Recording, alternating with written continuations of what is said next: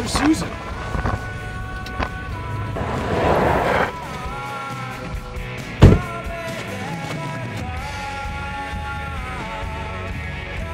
Something crazy's going on here. You're telling me something crazy's going on. There's dead people all over. Where's Jay? Where is he? Susan brought him home, Miranda.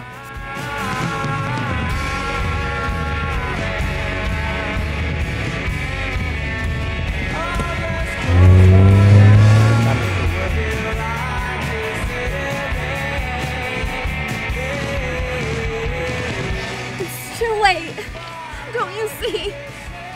Too late for what? Did you see the girl? You'll be immolated in the fiery flames. All non believers will be punished.